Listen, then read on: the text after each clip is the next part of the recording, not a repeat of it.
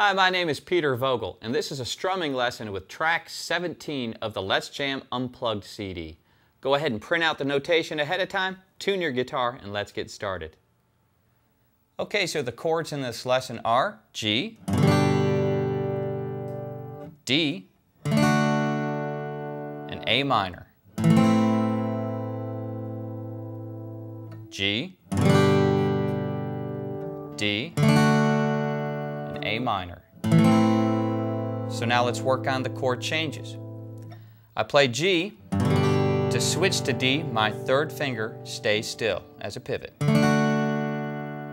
When I go to A minor, I have to lift up everything. Same thing is true when I go back to G, lift up everything.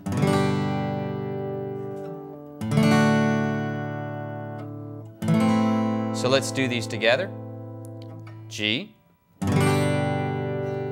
D, A minor. Again, G, D, A minor. Strum pattern, we're going to learn two different ones. Here's the first one, over the G chord. Down, down, down, up. Again, down, down. Down, down, down, up. We have to do a different pattern over A minor.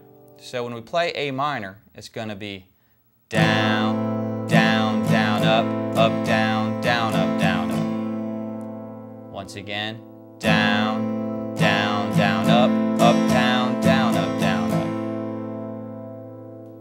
Now let's try this strum pattern over the chord progression.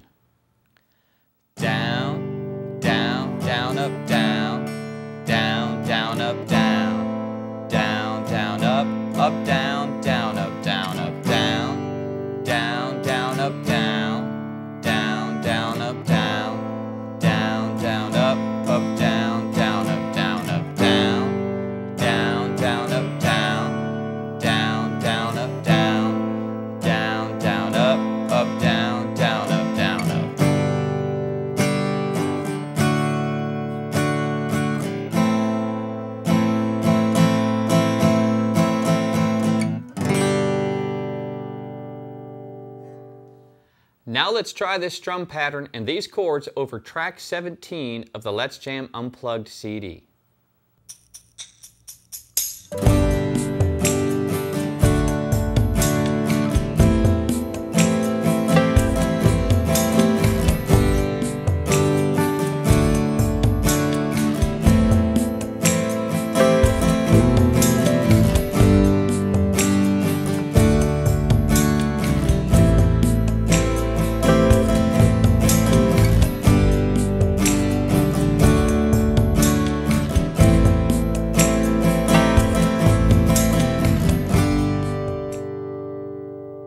Well, that's our lesson for today. My name is Peter Vogl. I hope you learned something new, and I will see you again soon.